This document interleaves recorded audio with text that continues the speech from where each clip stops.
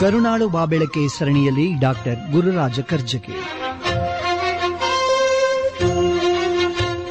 Akashvani FM rainbow.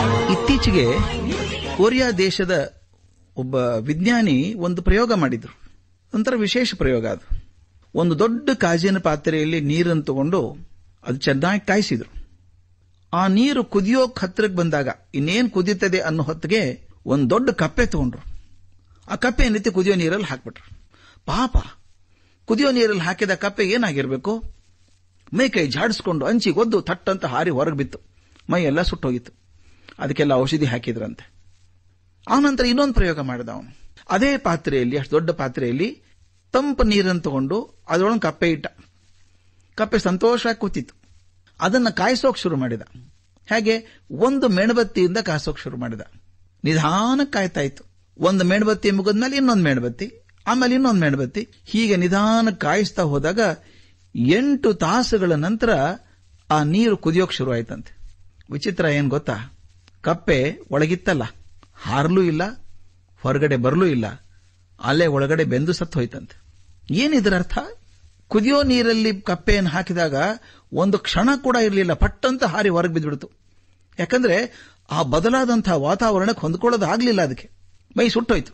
ಆದ್ದರಿಂದ ತಕ್ಷಣ ಬದಲಾವಣೆಯಾದಂತಹ ವಾತಾವರಣದಲ್ಲಿ ಯಾರೂ ಸುಖಿಯಾಗಿರೋಕೆ ಸಾಧ್ಯ ಇಲ್ಲ.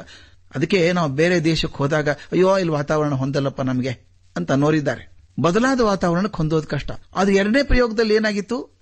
ತಂಪು ನೀರಲ್ಲೇ ಇತ್ತು ಅದು ಕಪ್ಪೆ. ನಿಧಾನಕ್ಕೆ ಉಷ್ಣತೆ ಹೆಚ್ಚಾಗ್ತಾ ಇತ್ತು. ಎಷ್ಟು ನಿಧಾನಕ್ಕೆ ಹೆಚ್ಚಿಗೆ ಆಗ್ತಿತ್ತು ಅಂತಂದ್ರೆ, ಆ ಬದಲಾವದ ಉಷ್ಣತೆಗೆ ತನ್ನ ದೇಹವನ್ನ ಹೊಂದ್ಕೊಂಡು ಹೊಂದ್ಕೊಂಡು ಹೋಯ್ತು ಕಪ್ಪೆ. ನಮ್ಗೆ ಗೊತ್ತಿಲ್ಲದ ಹಾಗೇನೆ. ತಾವು ಗಮನಿಸಿರ್ಬೇಕು. ಹೇಳ್ತಾರೆ ಅಯ್ಯೋ, ಅಲ್ಲಿ ತುಂಬಾ ಬಿಸಿಲಪ್ಪ, ಇರೋಕೆ ಆಗಲ್ಲ, ಅಂತಾರೆ. ಅಲ್ಲಿ ಇಲ್ವಾ ಜನ? ಇದ್ದಾರಲ್ಲ, ಹೇಗಿದ್ದಾರೆ? ಹೊಂದ್ಕೊಂಡ್ಬಿಟ್ಟಿದ್ದಾರೆ ಅವರು ಅದ್ರ ಜೊತೆಗೆ ಇದ್ಕೊಂಡು. ತುಂಬಾ ಚಳಿ ಪ್ರದೇಶದಲ್ಲಿ ಇಲ್ವಾ? ಮೈನಸ್ ನಲವತ್ತೆರಡು ಡಿಗ್ರಿ ಟೆಂಪರೇಚರ್ ಇರ್ತಾರೆ. ಹೇಗೆ? ಹೊಂದ್ಕೊಂಡಿದ್ದಾರೆ ಅವರು. ಹಾಗೆ ಕಪ್ಪೆ ಕೂಡ ತನ್ನ ದೇಹದ ಉಷ್ಣತೆಯನ್ನ ನೀರಿನ ಉಷ್ಣತೆ ಹೊಂದಿಸ್ಕೊಂಡು ಹೊಂದಿಸ್ಕೊಂಡು ಹೊಂದಿಸ್ಕೊಂಡು ಹೋದಾಗ ನೀರು ಕುದೀತದೆ ಅಂತ ಗೊತ್ತೂ ಆಗಲಿಲ್ಲ. ಬೆಂದು ಸತ್ತು ಹೋಯ್ತಂತೆ. ಇದು ನಮ್ಮ ಮೇಲೆ ವಾತಾವರಣ ಮಾಡುವಂತ ಪ್ರಭಾವ. ದಯವಿಟ್ಟು ಗಮನಿಸ್ರಿ. ಎಷ್ಟು ವಿಚಿತ್ರ ಪರಿಸ್ಥಿತಿ ಅಲ್ವಾ? ನೀವೇ ಕಲ್ಪನೆ ಮಾಡಿಕೊಳ್ಳಿ, ಒಂದು ಧ್ಯಾನ ಮಂದಿರದಲ್ಲಿ ಇದ್ದೀರಿ. ಅತ್ಯಂತ ಶಾಂತವಾದ ಸ್ಥಳ. ಎಲ್ಲರೂ ಧ್ಯಾನ ಮಾಡ್ತಿದ್ದಾರೆ. ಸ್ವಚ್ಛವಾದ ಪರಿಸರ. ಆಗ ನಿಮಗೆ ಕೆಮ್ಮು ಬರುತ್ತದೆ. ಏನ್ ಮಾಡ್ತೀರಿ? ಕೆಮ್ತೀರಾ? ಇಲ್ಲ. ಕೆಮ್ಮನ್ನು ತಡ್ಕೊಳ್ತೀರಿ. ಯಾಕಂದ್ರೆ ಕೆಮ್ಮಿದ್ರೆ ಉಳಿದವರ ಧ್ಯಾನಕ್ಕೆ ತೊಂದರೆ ಆಗ್ತದೆ ಅಂತ ಹೇಳಿ ತಡ್ಕೋತೀರಿ. ತಡ್ಕೊಳಕ್ ಆಗದೆ ಹೋದಾಗ ಹೊರಗಡೆ ಹೋಗಿ ಕೆಮ್ಮರ್ತೀರಿ ಆದ್ರೆ ಅದೇ ಮನುಷ್ಯ ಅತ್ಯಂತ ಕೊಳಕಾದ ಒಂದು ಬಸ್ ಸ್ಟ್ಯಾಂಡ್ ಅಲ್ಲಿ ನಿಂತ್ಕೊಂಡಿದ್ರೆ ಏನಾಗುತ್ತೆ ಹೇಳಿ? ಬಸ್ ಸ್ಟ್ಯಾಂಡ್ ಅಲ್ಲಿ ಯಾರು ಕಿರಿಚ್ತಾ ಇರ್ತಾರೆ, ಬಾಳೆಹಣ್ಣು ಸಿಪ್ಪೆ ಅಲ್ಲೇ ಹಾಕ್ತಿರ್ತಾರೆ, ಎಲ್ಲ ಕೊಳಕು ವಾತಾವರಣ. ಅವನು ಕೂಡ ಬಾಳೆಹಣ್ಣು ತಿಂದು ಸಿಪ್ಪೆ ಅಲ್ಲೇ ಬಿಸಾಕ್ತಾನೆ. ಓ, ಅಂತ ಕಿರಿಚ್ಕೋತಾನೆ. ಯಾಕೆ? ಅಲ್ಲಿ ಅಷ್ಟು ಚೆನ್ನಾಗಿ ನಡ್ಕೊಂಡಂತಹ ಮನುಷ್ಯ ಇಲ್ಲಾಕೆ ಹಿಂಗೆ ಕೂಗ್ತಾನೆ? ಪರಿಸರದ ಪ್ರಭಾವ. ಎಲ್ಲವೂ ಶಾಂತವಾಗಿದ್ದಾಗ ತಾನೂ ಶಾಂತವಾಗಿರ್ಬೇಕು ಅನ್ಸುತ್ತೆ. ಎಲ್ಲವೂ ಕೊಳಕಿದ್ದ ನಾನು ಪರವಾಗಿಲ್ಲ ಅಂತ ಅನ್ಸುತ್ತೆ.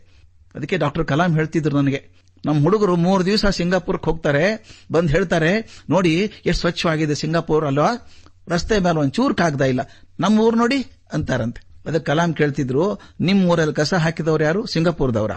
ಅಲ್ವಾ? ಅವ್ರು ಹಾಕಿಲ್ಲ ಅಂತ ಚಂದವಾಗಿದೆ ಅಲ್ಲಿ ಹೋದಾಗ ನೀವು ಹಾಗೆ ಇರ್ತೀರಿ. ಅದಕ್ಕೆ ನಾನು ಹೇಳೋದು, ನಮ್ಮ ಮನೆಗಳಲ್ಲಿ, ಸಂಸ್ಥೆಗಳಲ್ಲಿ, ಆಸ್ಪತ್ರೆಗಳಲ್ಲಿ, ಸಮಾಜದ ಸ್ಥಳಗಳಲ್ಲಿ ಆ ಸ್ವಚ್ಛತೆ ಅನ್ನೋದನ್ನು ಮೈಗೂಡಿಸ್ಕೊಂಡ್ ಬಿಡಬೇಕು. ಆ ಸ್ವಚ್ಛತೆ ಇದ್ರೆ ನಮ್ಮ ಮಕ್ಕಳು ಸ್ವಚ್ಛವಾಗಿ ಬದುಕೋದನ್ನು ಕಲಿಸ್ತಾರೆ. ಇದು ಬರೀ ವಾತಾವರಣ ಸ್ವಚ್ಛತೆ ಅಂತ ಹೇಳ್ತಾ ಇಲ್ಲ.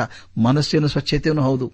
ನಾನು ಒಳ್ಳೆಯದನ್ನ ಕೇಳ್ತಾ ಇದ್ರೆ ಒಳ್ಳೆಯದನ್ನೇ ನೋಡ್ತಾ ಇದ್ರೆ ನನಗೆ ಗೊತ್ತಿಲ್ಲದ ಹಾಗೆ ನನ್ನ ಮನಸ್ಸು ಹಾಗಾಗ್ತದೆ. ಆದ್ರಿಂದ ಪರಿಸರ ನಿಮ್ಮ ಮನಸ್ಸನ್ನು ರೂಪಿಸ್ತದೆ ಅನ್ನೋ ತಿಳ್ಕೊಂಡು ಅಂಥ ಪರಿಸರವನ್ನು ಆಯ್ಕೆ ಮಾಡಿಕೊಳ್ಬೇಕು. ಅಂಥ ವಾತಾವರಣ ಆಯ್ಕೆ ಮಾಡಿಕೊಳ್ಳಿ. ನಿಮ್ಮ ಮಕ್ಕಳಿಗೆ ಅಂಥ ವಾತಾವರಣ ಕೊಡಿ. ಮುಂದಿನ ಸಮಾಜ ತುಂಬಾ ಸುಭಿಕ್ಷವಾಗಿರ್ತದೆ, ಸಂತೋಷದಾಯಕವಾಗಿರ್ತದೆ.